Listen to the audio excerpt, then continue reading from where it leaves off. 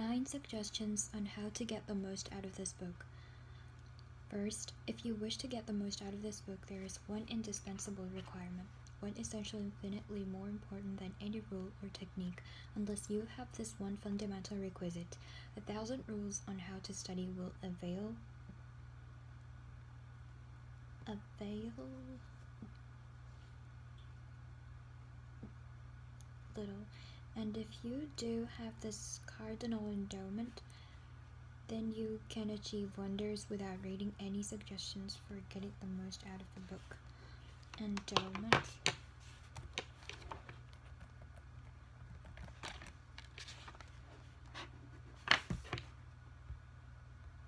Endowment. Endowment. The action of endowing something or someone, an income, a form of funding, financing. Endowment. Then you can achieve wonders without reading any suggestions for getting the worst, getting the most out of the book. What is the magic requirement? Just this a deep, driving desire to learn, a vigorous determination to increase your ability to deal with people. A deep, driving desire to learn, a vigorous determination to increase your ability to deal with people. How can you develop such an urge? By constantly reminding yourself how important these principles are to you, picture yourself how how their mastery will aid you in leading a richer, fuller, happier, and more fulfilling life. How to by constantly reminding yourself how important these principles are and picture yourself how their mastery will aid you to leading in leading a richer, fuller, happier, and more fulfilling life. Say to yourself over and over, my popularity, my happiness, and sense of worth depend to no small extent upon my skill in dealing with people. No small extent. My popularity, no small extent upon my skill. The first. Second one, read each chapter rapidly at first to get a bird's eye view of it. You will probably be tempted then to rush on to the next one, but don't, unless you are reading merely for entertainment. But if you are reading because you want to increase your skill in human relations, then go back and reread each chapter thoroughly, and in the long run, this will mean saving time and getting results. Read each chapter rapidly at first. Then uh, reread each chapter. This is the second part.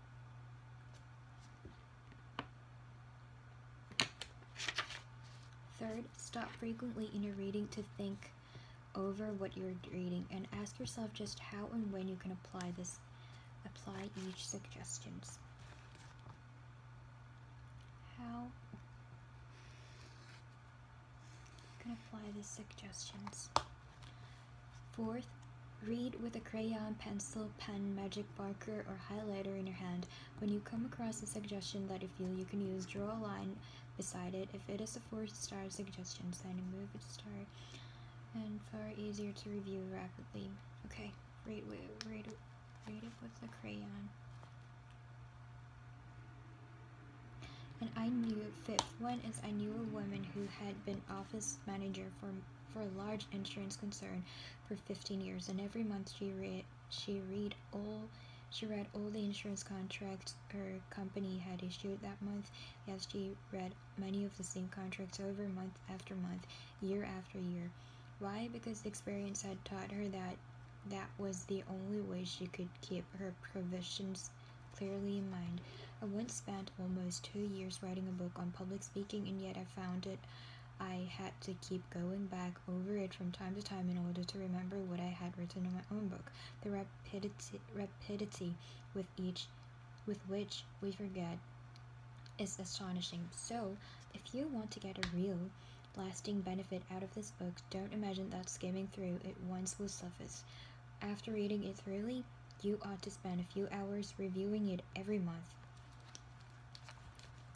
To spend a few hours reviewing it every month. Keep it on your desk in front of you every day. Glance through it often. Keep constantly impressing yourself with the rich possibilities for improvement that still line the off offing.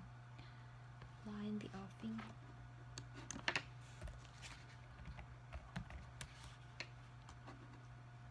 Offing. Offing the more distant part of the scene. Offing. Remember that the use of these principles can made can be made habitual only by a constant and vigorous campaign of review and application. There is no other way. Sixth one is once Bernal, Bernard Shaw once remarked, If you teach a man anything, he will never learn. Shaw was right. Learning is an active process. We learn by doing. So, if you desire to master principles you are studying in this book, do something about them. Apply these rules at every opportunity, and if you don't, you will forget them quickly. What knowledge, only knowledge that is used sticks in your mind. Apply these rules at every opportunity. You will probably find it difficult to apply these suggestions all the time. I know because I wrote the book and I and yet frequently found it difficult to apply everything I advocated. For example, when you are displeased, it is much easier to criticize and condemn that condemn than it is to try to understand the other person's viewpoint and it is frequently easier to find faults than to find praise and it is more natural to talk about what you want than to talk about what other person wants. And so on. So as you read this book remember that you are not merely trying to acquire information. You are attempting to form new habits. And yes you are attempting a new way of life that will require time and persistence and daily application. You are a new way of life and that will require time and persistence and daily application.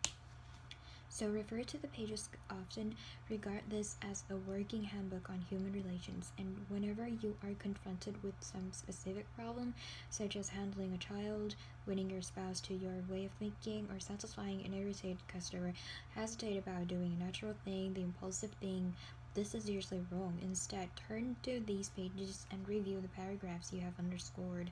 Then, try these new ways and watch them achieve magic for you.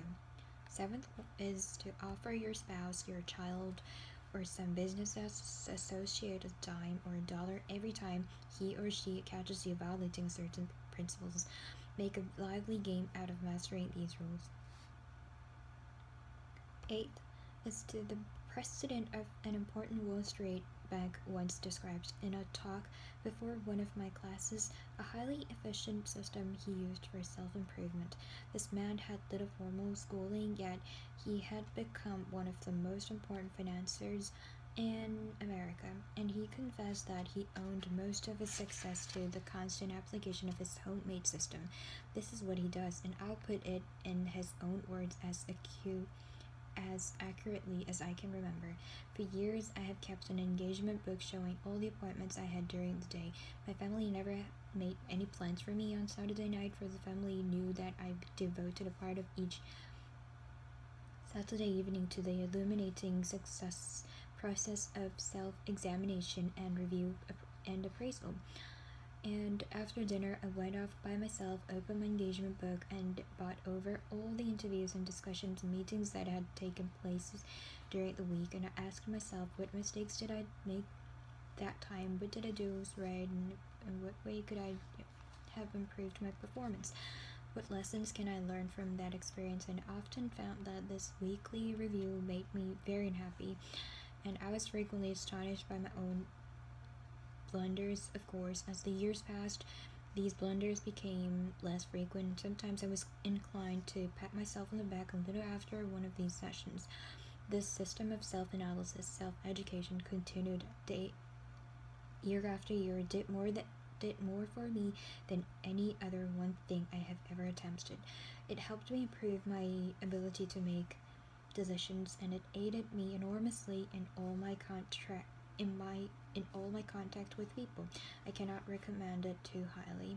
Why not use a similar system to check up on your application to the principles discussed in this book? If you do, two things will result. First, you will find yourself engaged in an educational process that is both intriguing and priceless.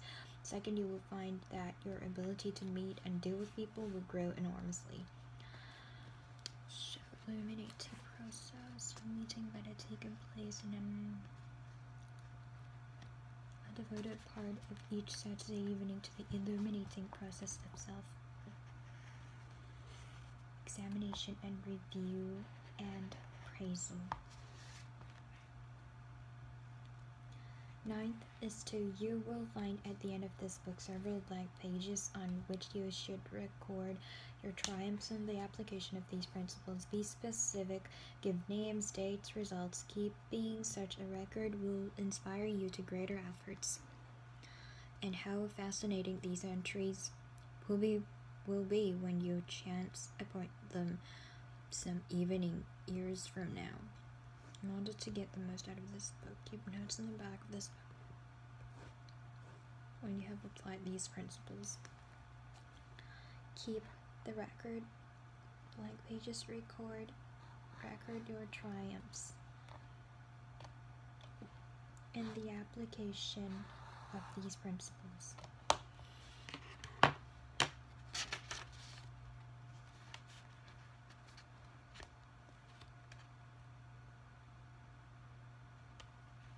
Part 1 Fundamental Techniques in Handling People.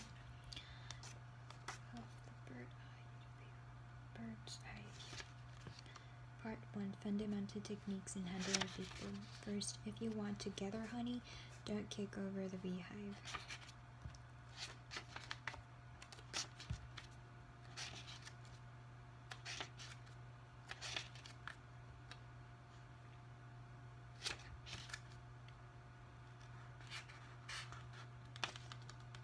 And there are several principles. First, don't criticize, condemn, or complain.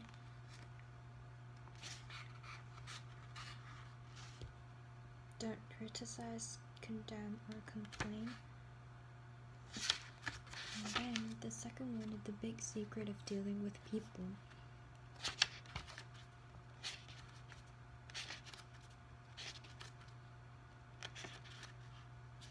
Give honest and sincere appreciation. Appreciation. Third, he who can do this has the whole world with him. He who cannot walks a lonely way. Whole world with him. He who cannot walks a lonely way.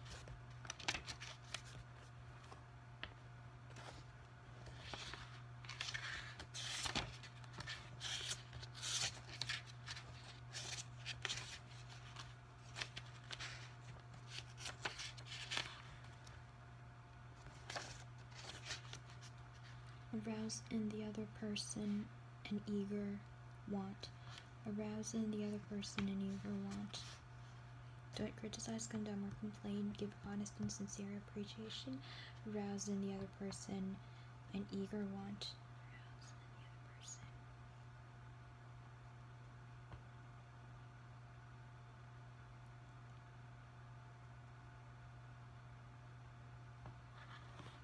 Arouse in the other person.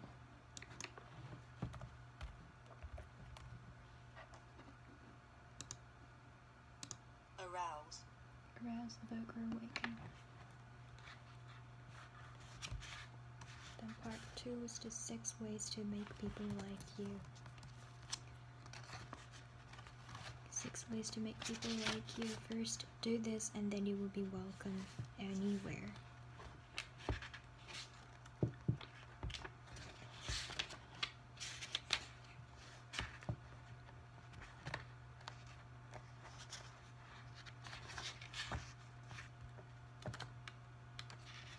Become interested in other people. Second is a simple way to make a good first impression. Smile. Sec- Third, if you don't do this, you are headed for trouble. Remember that a person's name is to that person the sweetest and most important sound in any language. Fourth, an easy way to become a good conversationalist.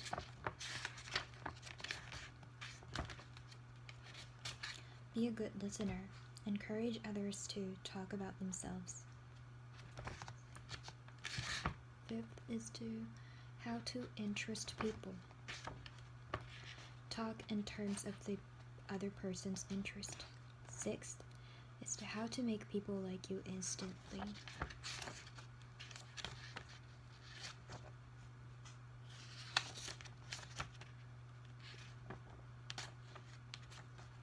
Make the other person feel important and do it sincerely. Six ways.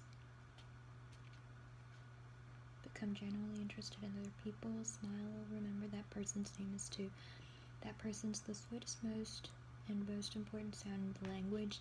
Be a good listener. Encourage others to talk about themselves. Talk in terms of the other person's interest. Make the other person feel important and do it sincerely. Part 3 is How to Win People to Your Way of Thinking. First, you can't win an argument. The only way to get the best in argument is to avoid it. Second, a sure way of making enemies and how to avoid it. Show respect for the person's for the other person's opinions. Never say you're wrong. If you're wrong, admit it. If you're wrong, admit it quickly and em- empathetically. A drop of honey. Which means begin in a friendly way. The secret of so- Socrates. Socrates.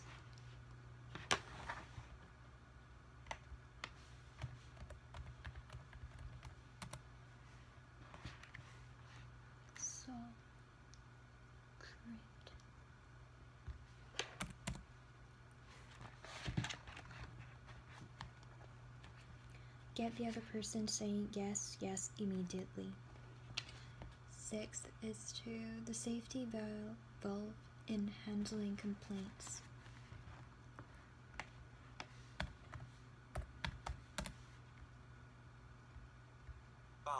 valve, the safety valve in handling complaints. Let the other person do a great deal of the talking. How to get cooperation.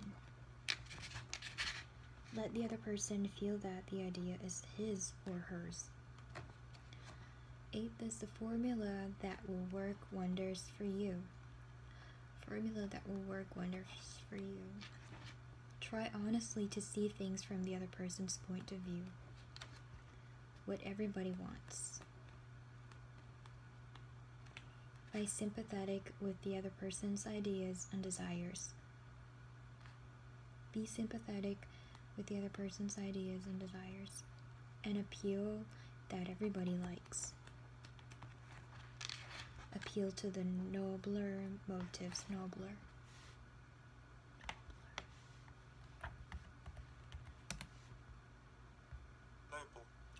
noble, Nobler.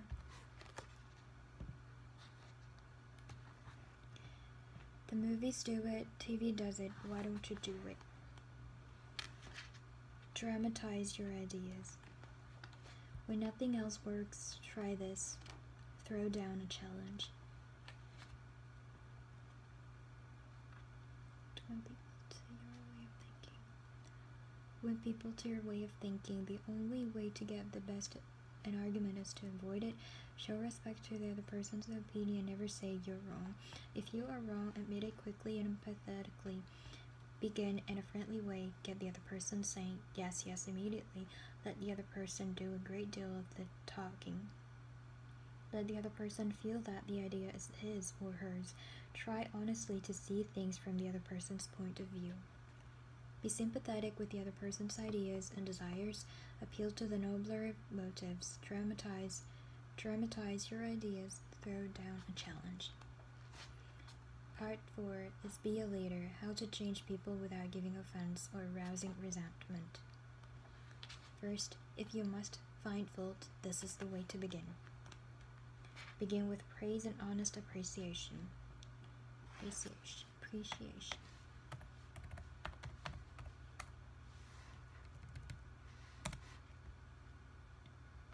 appreciation, Appreciation. Honest appreciation. How to criticize and not be hated for it. Call attention to people's mistakes indirectly. Talk about your own mistakes first. Talk about your own mistakes before criticizing the other person. No one likes to take orders. Ask questions instead of giving direct orders. Let the other person save face. Let the other person save face. How to spur people on to success. Praise the slightest improvement and praise every improvement. Be hearty in your pro, appro, approbation and lavish in your praise. Give a dog a good name. Give the other person a fine reputation to live up to. Make the fault seem easy to correct. Use encouragement. Make the fault seem easy to correct. Making people glad to do what you want. Making people glad to do what you want.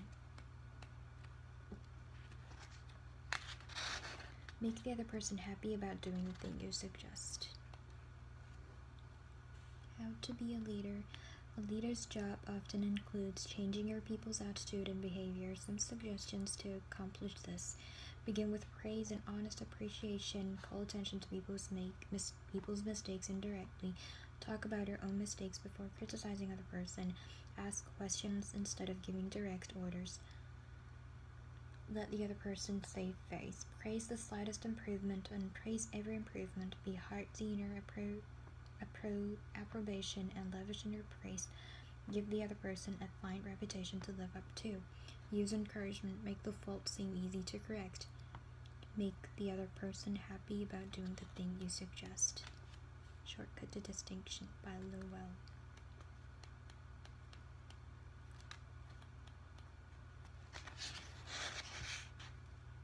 If you're interested in any of my experiences in applying the principles taught in this book, experiences.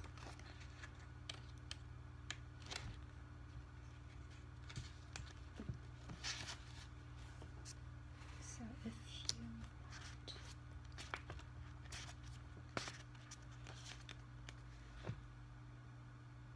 handling people If you want to gather honey, don't kick over the beehive. So, on May uh, 7th, 1931, the most sensational manhunt New York City had ever known had come to its climax after weeks of search. Two Gun Crowley, the killer, the gunman who didn't smoke or drink, was at bay, trapped in this in his sweetheart's apartment on West End Avenue. 150 policemen and detectives laid sage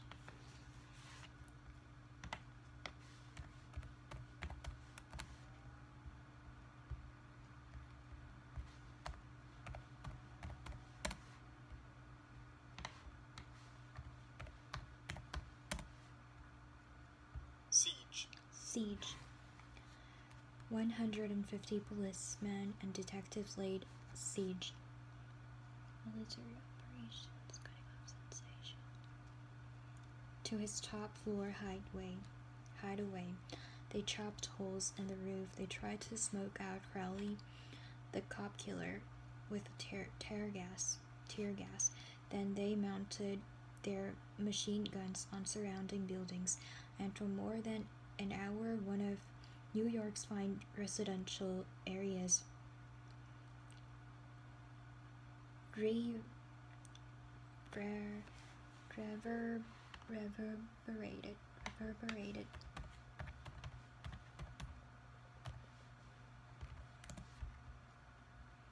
Reverberate.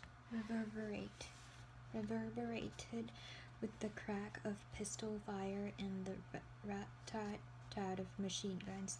Crowley, crouching behind an overstuffed chair, fired incessantly at the police. Fired ince- incessantly.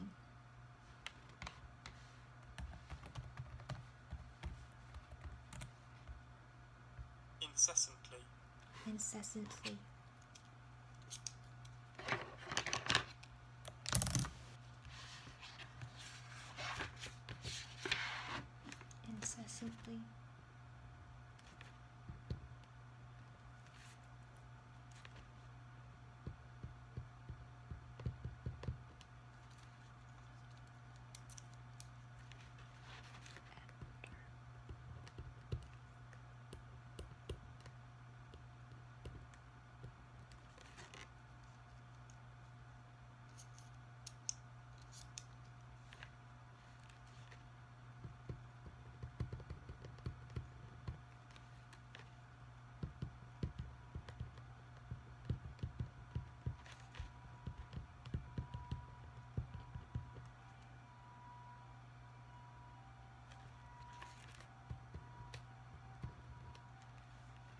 She talked about it.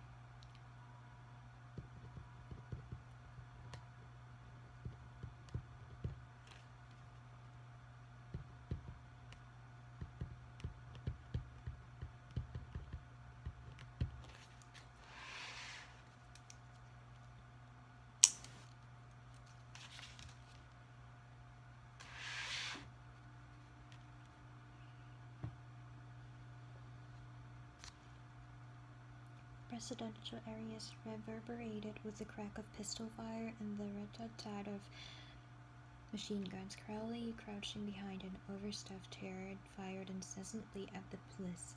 Ten thousand excited people watched the battle. Nothing like it had ever been seen before on the sidewalks of New York. When Crowley was captured, police commissioners, Commissioner E.P. Mulrooney declared that the two-gun desperado was one of the most dangerous criminals ever encountered in the history of New York. He will kill, said the commissioner, at the drop of a feather. But how did Two Crowley regard himself? We know, because while the police were firing into his apartment, he wrote a letter addressed to whom it may concern, and as he wrote, the blood flowing from his wounds left a crimson trail on the paper. In his letter, Crowley said, Under my coat is a weary heart, but a kind one, one that would do nobody any harm. Nobody any harm. A short time before this, Crowley had been having a necking party with his girlfriend on a country road out on Long Island. Suddenly, a policeman walked up to the car and said, Let me see your license. Without saying a word, Crowley drew his gun and put the policeman down with his with a shower of lead. As the dying offer, officer fell, Crowley leaped out of the car, grabbed the officer's revolver, and fired another bullet into the prostrate body. And that was the killer who said, Under my coat is a very hard but a kind one, one that would do nobody any harm. Crowley was sentenced sentenced to the electric chair when he arrived in, at the death house in Sing Sing. Did he say, This is what I get for killing people? No, he said, This is what I get for defending myself. The point of this story is this Two Gun Crowley didn't blame himself. Two Gun Crowley didn't blame himself for nothing, for anything. Is that an unusual attitude among criminals? If you think so, listen to this. I have spent the best years of my life giving people the lighter pleasures, helping them have a good time, and all I get is abuse, the existence of hunted man. That's A.I. Capone. L. Speaking. Yes, America's most notorious public enemy, the most sinister gang leader who ever shot up Chicago. Capone didn't condemn himself. He actually regarded himself as a public benef- benefactor and a an appreciated and misunderstood public benefactor. And so did Dutch before he crumpled up under gangster bullets in New York. New York. New York? New York.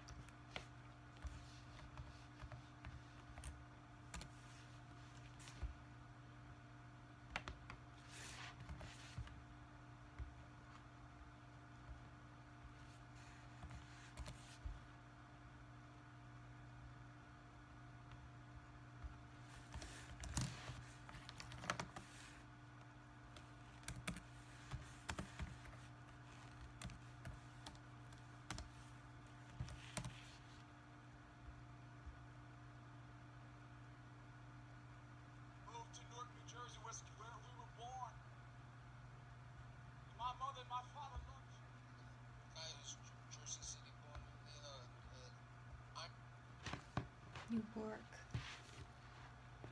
Dutch, one of New York's most notorious rats, said in a newspaper interview interview that he was a public benefactor and he believed it.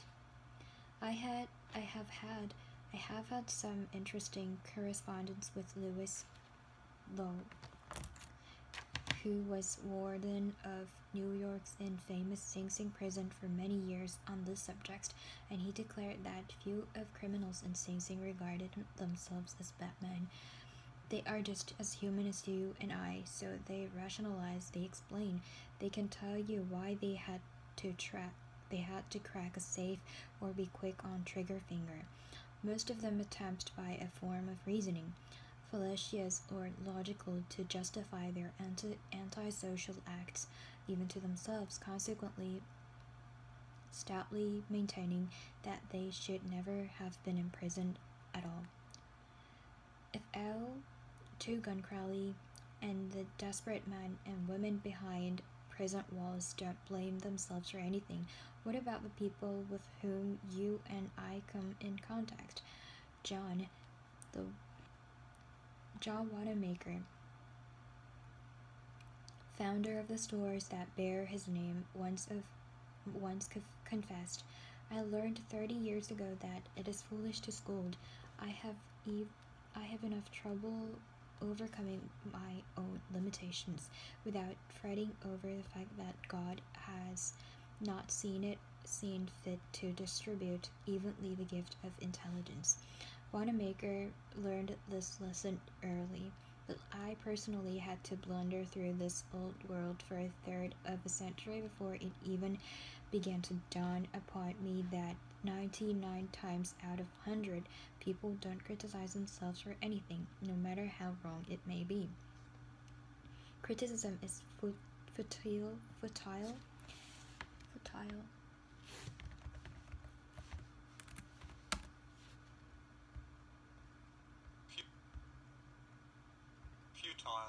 Futile.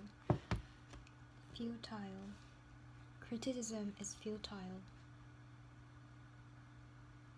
Pointless. Because it puts a person on the defensive and usually makes them makes him strive to justify himself. Criticism is dangerous because it wounds a person's precious pride, hurts his sense of importance, and arouses resentment.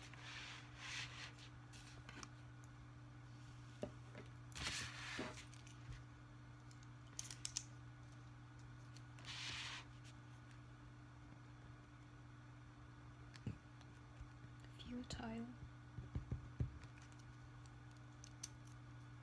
Adjective.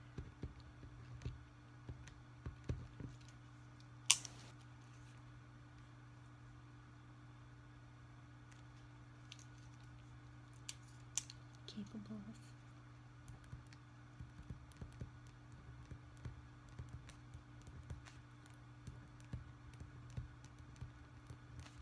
Producing and useful.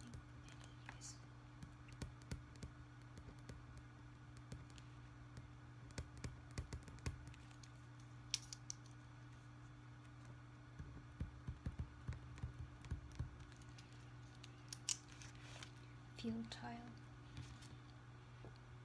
puts a person on defensive and usually makes him strive to justify him, himself and criticism is dangerous because it wounds a person's precious precious pride hurts a sense of importance and arouses resentment. B.f skinner the world famous psychologist proved through his experiment experiments that an animal rewarded for good behavior will learn much more rapidly and retain what it learns from far more effectively than an animal punished for bad behavior. Later studies had have shown that the same applies to humans. By criticizing, we do not make lasting changes and often incur resentment. Another great psychologist said, "As much as we thir- thirst for approval, we dread condemn condemnation condemnation we dread condemnation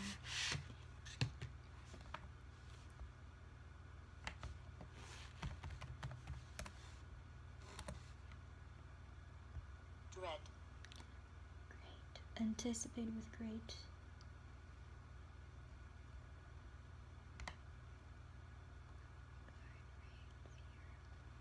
we dread condemnation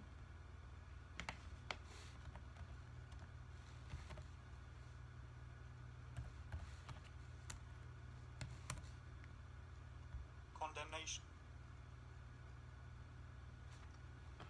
and we dread condemnation.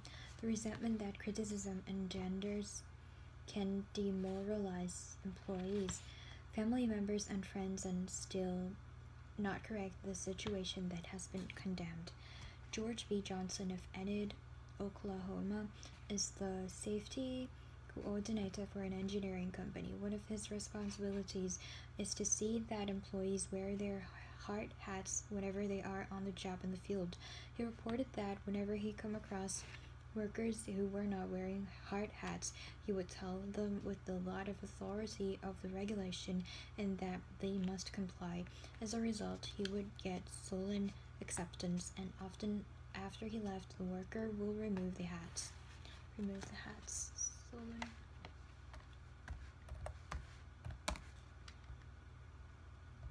Sullen. Sullen got sullen acceptance. He decided to try a different approach. The next time he found some of the workers not wearing their hard hat, he asked if the hats were uncomfortable or did not fit properly.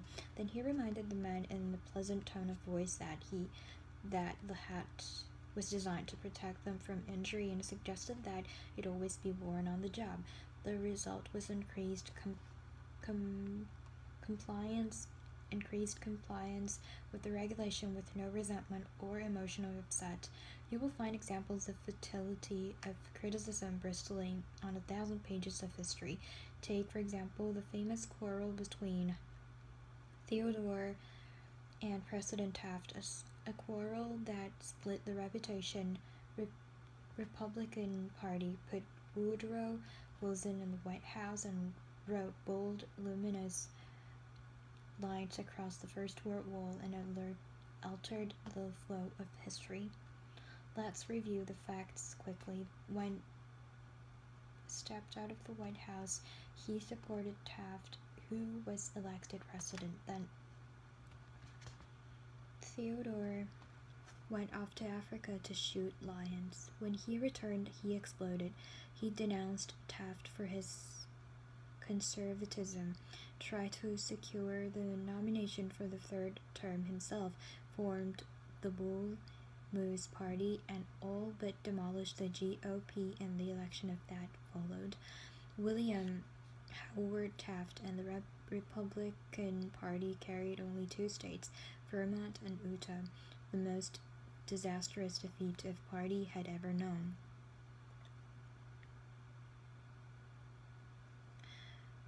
Blamed Taft. He blamed Taft, but did President Taft blame himself? Of, course not. With tears in his eyes, Taft said, I don't see how I could have done any differently from what I have. Who was to blame? Roosevelt or Taft? Frankly, I don't know and I don't care. The point I'm trying to make is that all of his criticism didn't persuade persuade Taft that he was wrong. It it merely made Taft strive to justify himself to re reiter, reiterate with tears in his eyes.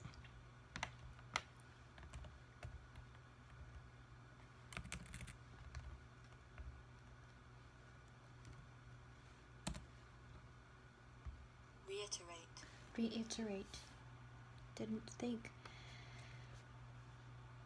Strived to justify himself to I don't see how I could have done any differently from what I have what I have. Or take teapot scandal. It kept the newspapers ring. I could have done any differently from what I have. Who was to blame?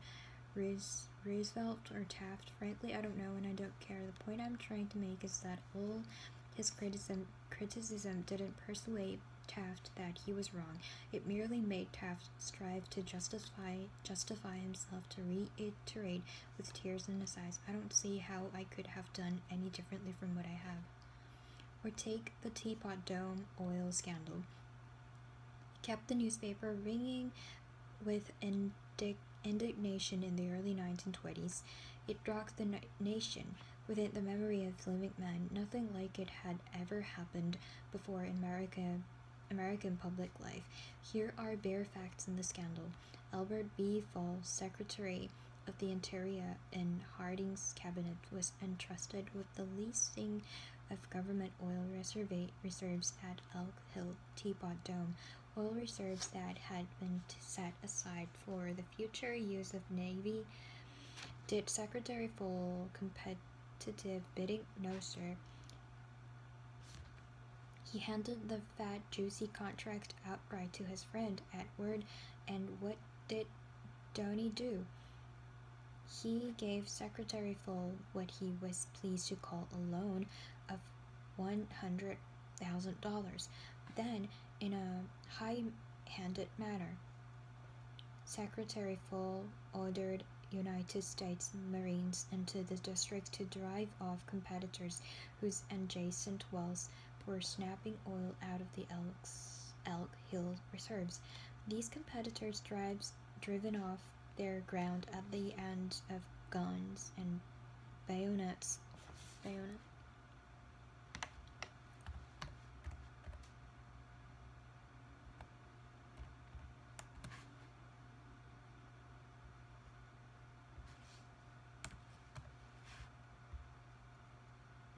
bayonet, bayonet, bayonet,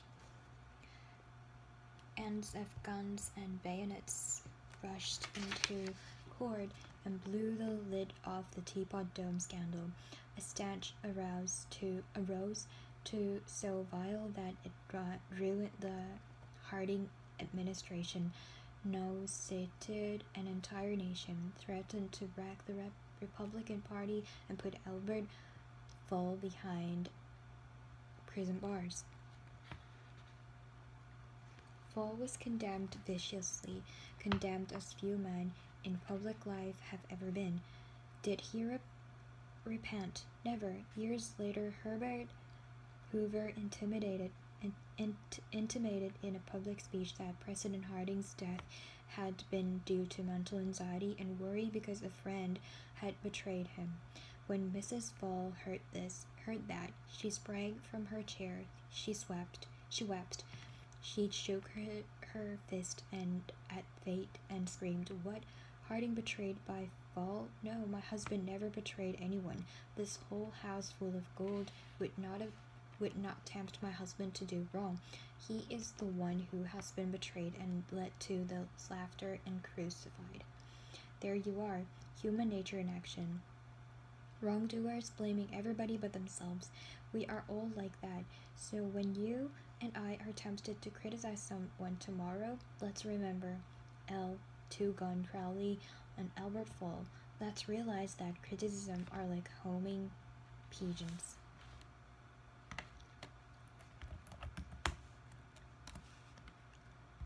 homing, Homing pigeons. Return to territory after leaving it. Homing pigeons. They always return home. Let's realize that the person we are going to correct and condemn will probably justify, justify, justice, justify, will probably justify himself or herself and condemn us in return. Or, like the gentle Taft, will say, I don't see how I could have done any differently from what I have. On the morning of April 15 of nine, uh, 1865, Abraham Lincoln lay dying in a hall bedroom of a cheap lodging house directly across the street from Ford's Theater, where John had shot him.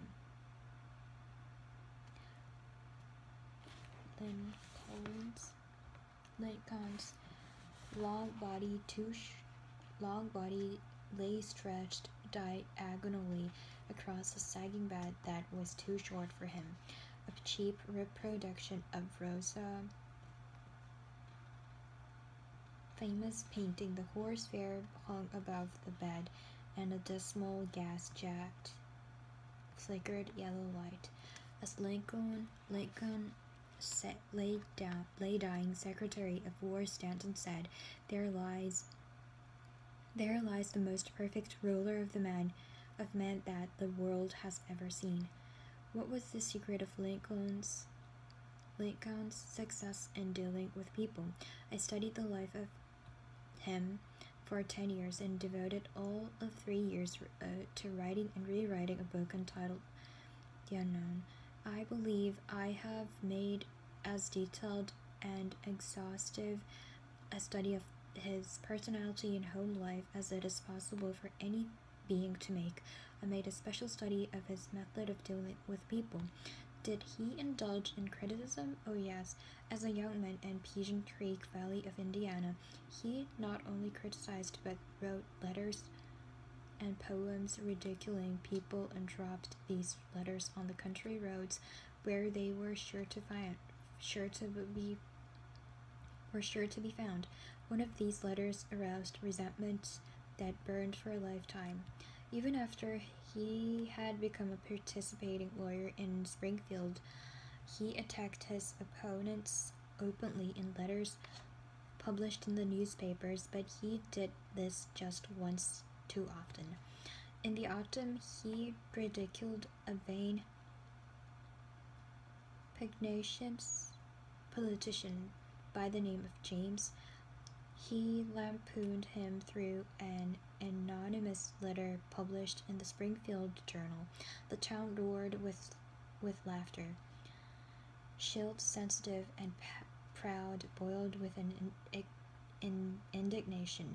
He found out who wrote the letter, leaped on his horse, started after him, and challenged him to fight a duel. Lincoln didn't want to fight.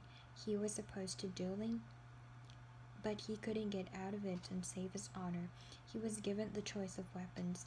Since he had very long arms, he, closed, he chose cavalry broadswords and took lessons in sword fighting from West Point graduate. And on the appointed day, he and Shields met on a sandbar in the Mississippi River, prepared to fight to the death, but at the last minute, their seconds interrupted and stopped the duel. That was the most lurid personal incident in his life. It taught him an invaluable lesson in the art of dealing with people. Never again did he write an insulting letter.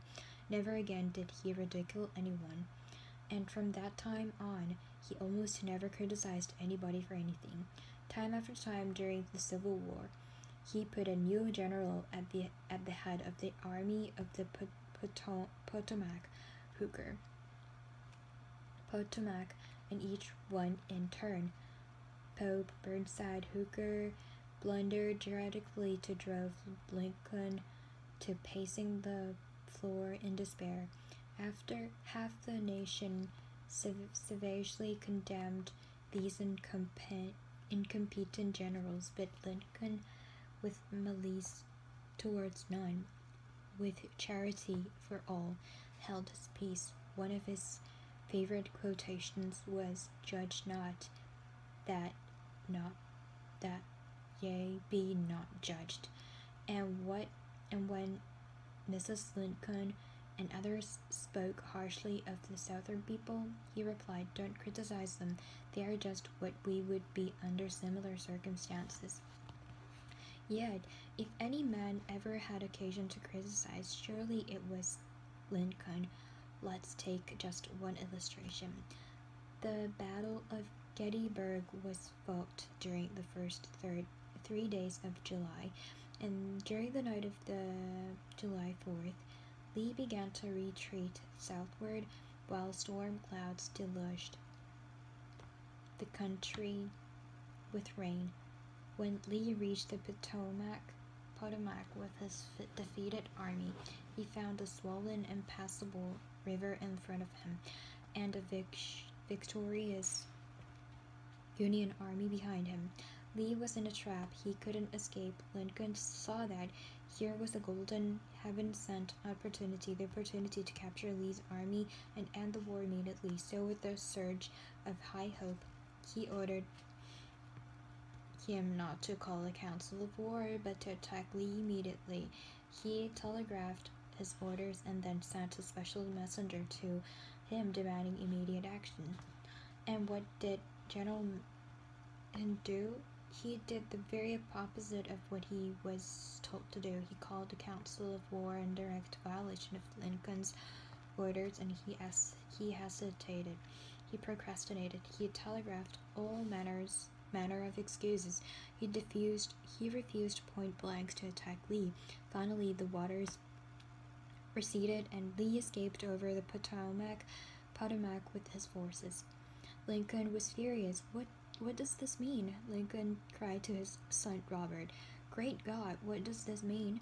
We had them within our grasp and had only to stretch forth our hands and they were ours, yet nothing that I could say or do could make the army move.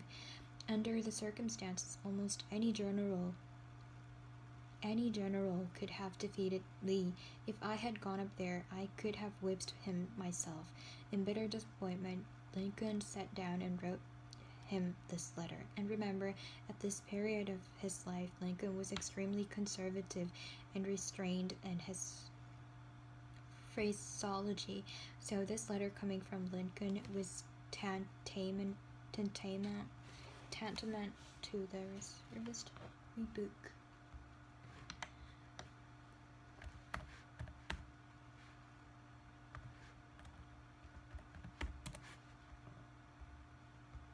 Tantamount.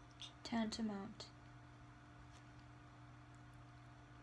tantamount to the severest rebuke my dear Gen- general i do not believe in i do not believe you appreciate the magnitude of the misfortune involved in lee's escape he was within our easy grasp and to have closed upon with upon him would in connection with uh, with our other late successes have ended the war as it is, the war will be prolonged indefinitely. If you could not safely attack Lee last Monday, how can you possibly do so south, do so south of the river, when you can take with you very few, no more than two thirds of the force you you then had in hand? It would be unreasonable to expect and I do not expect that you can now effect much. Your golden opportunity is gone, and I am distressed immeasurably because of it. What do you suppose him did when he read, read the letter? He never saw that letter. Lincoln never mailed it. It was found among his papers after his death. My guess is, and this is the only guess, that after writing that letter, Lincoln looked out of the window and said to himself, Just a minute, maybe I ought not to be so hasty. Hasty? Hasty.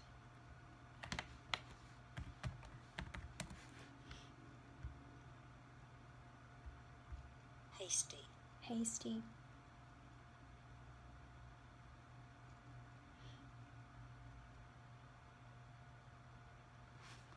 Hasty. Maybe I ought not to be so hasty. It is easy enough for me to sit here in the quiet of the White House and order him to attack. But if I had been up at Gettysburg, and if I had seen as much blood as him has as he has been has seen during the last week, and if my ears had been pierced with the screams and shrieks of the wounded and dying, maybe I wouldn't be so anxious to attack either. If I had his timid tem- temper, temper, temperament, perhaps I would have done just what he had done. Anyhow, it is water down the bridge now. If I send this letter, it it will relieve my feelings, but it will make him try to justify justify himself and I it will make him condemn me. It will arouse hard feelings, impair all his further useless as a com- commander, and perhaps force him to resign from the army. So, as I have already said, Lincoln put the letter aside for the for he had learned by bitter experience that sharp criticism and rebukes almost invariably end in fut- in in futility. Theodore said that when he, as president, was confronted with the perplexing problem, he used the to lean back and look up at a large painting of Lincoln, which hung above his desk in the White House, and ask himself what would him do if he were in my shoes. What? How would he solve this problem? The next time we are tempted to admonish somebody, let's pull a five dollar bill out of our pocket, look at his picture on the bill, and ask, how would him handle this problem if I if he had it? Mark Twain lost his temper occasionally and wrote letters that turned the paper down, turned the paper brown. For example, he once wrote to a man who had aroused his ire. The thing for you is burial permit. You have only to speak, and I will see that you get it. On another occasion, he wrote to an editor about the proofreader's attempts to improve my spelling and punctuation. He ordered, Set the matter according to my copy hereafter, and see that the proofreader retains the suggestions in the much of his decayed brain. The writing of these stinging letters made Mark Twain feel better. They allowed him to blow off steam, and the letters didn't do any real harm. But because Mark's wife secretly lifted them out of the mail, they were never sent. Do you know someone who would like to change and re- regulate and improve? Good, that is fine. I'm all in favor of it, but why not begin on yourself from a purely selfish standpoint? That is a lot more profitable than trying to improve others, yes, and a lot less dangerous. Don't complain about the snow on your neighbor's roof when your own doorstep is unclean. But if but why not begin yourself from a purely selfish standpoint that is a lot more profitable than trying to improve others?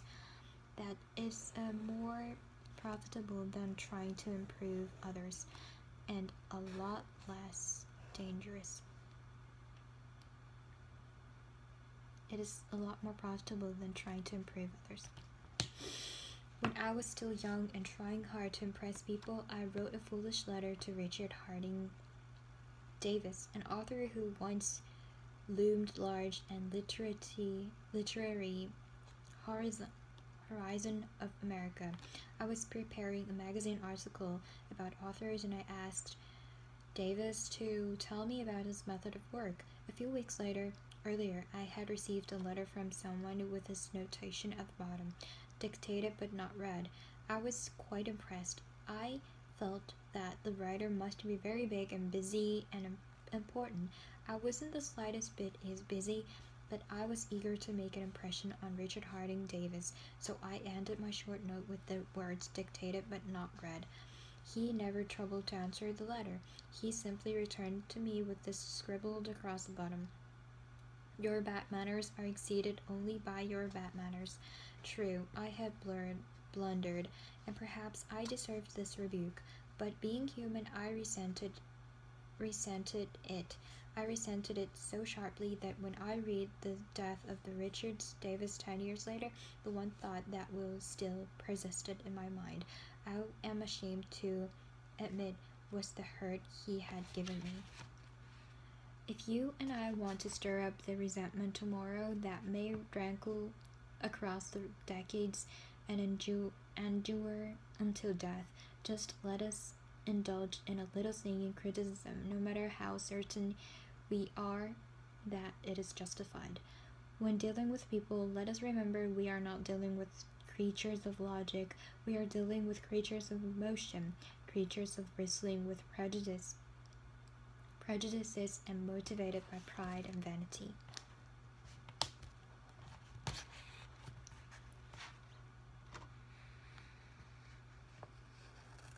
we are not dealing with creatures of logic. We are dealing with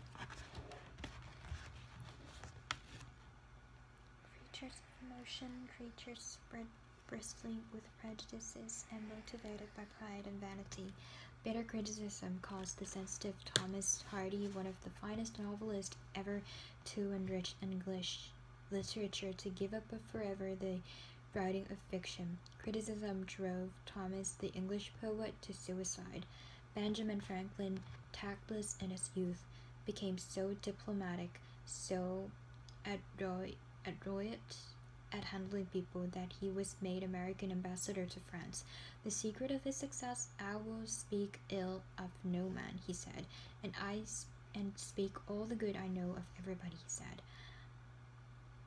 Any fool can criticize, condemn, and complain, and most fools do, but it takes character and self control to understanding and forgiving.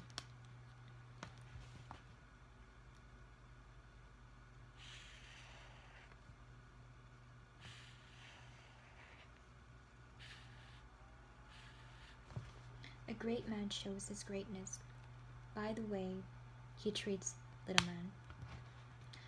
Bob Hoover, a famous test pilot and frequent performer at air shows, was returning to his home in Los Angeles from an air show in San Diego. As described in the magazine Flight Operations at 300 feet in the air, both engines suddenly stopped by deft maneuvering.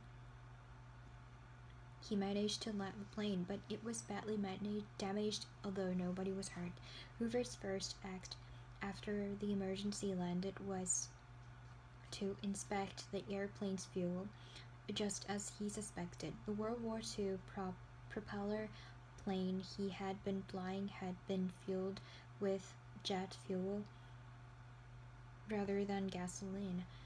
Upon returning to the airport, he asked to see the mech- mechanic who had serviced his airplane. The young man was sick with the agony of his mistake. Tears streamed down his face as Hoover as Hoover approached. He had just caused the loss of very expensive plane and could have caused the loss of three lives as well. You can imagine Hoover's anger.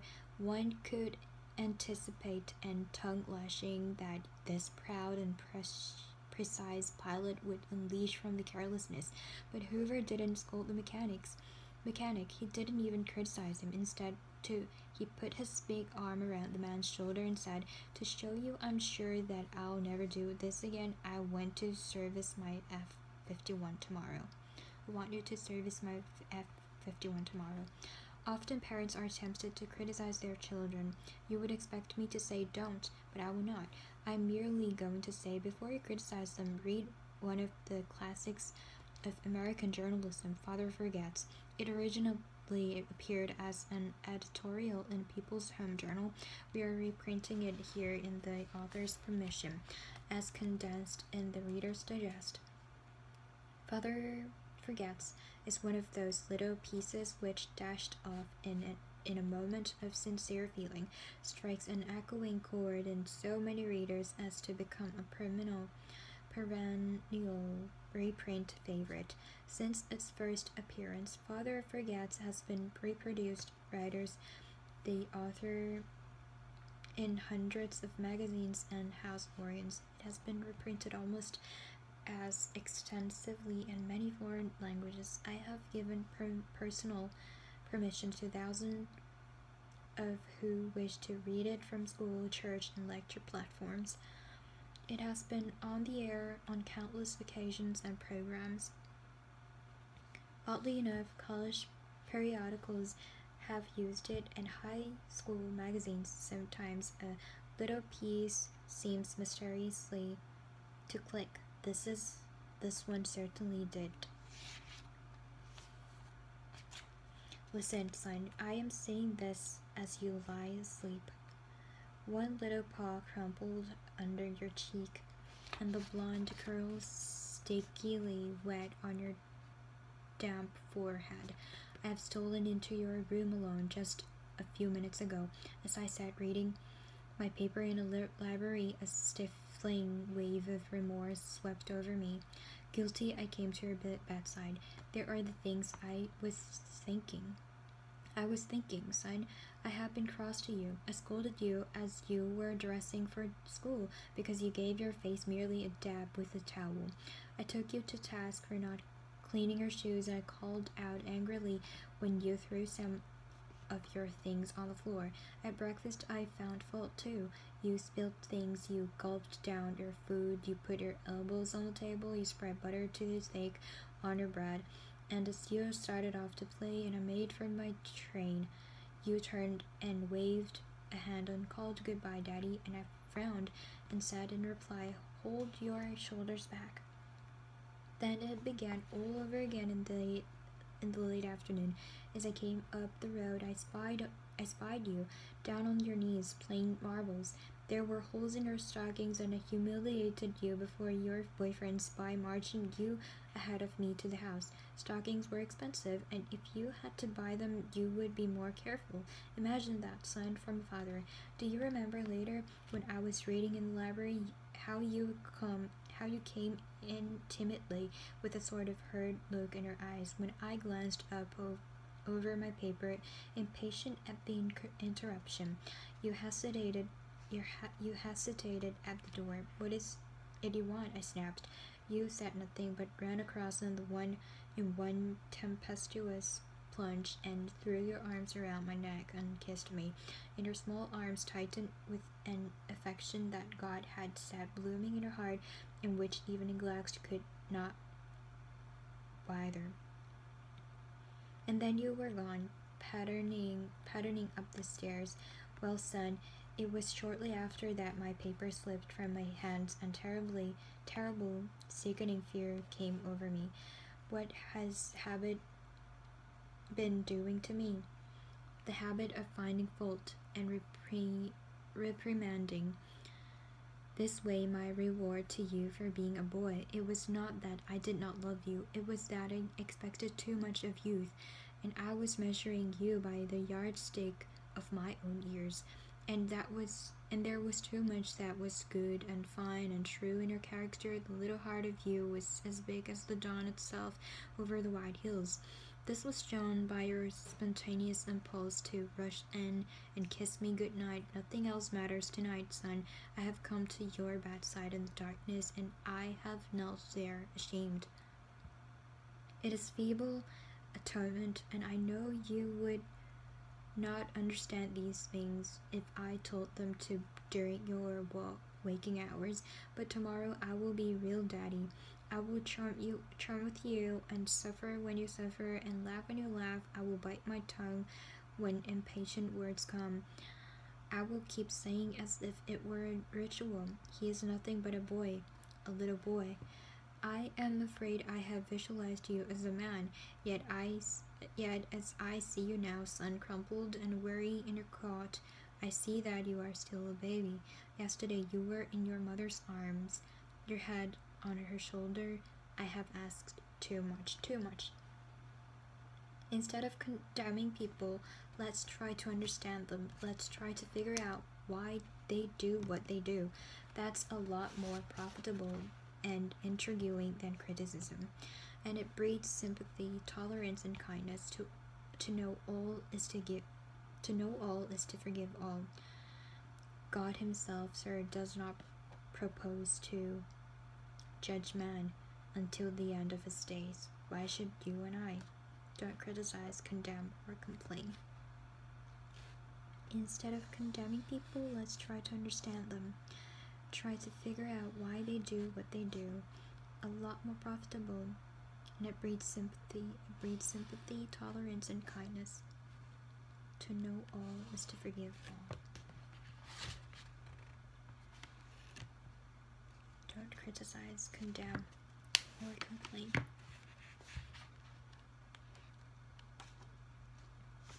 It's a lot.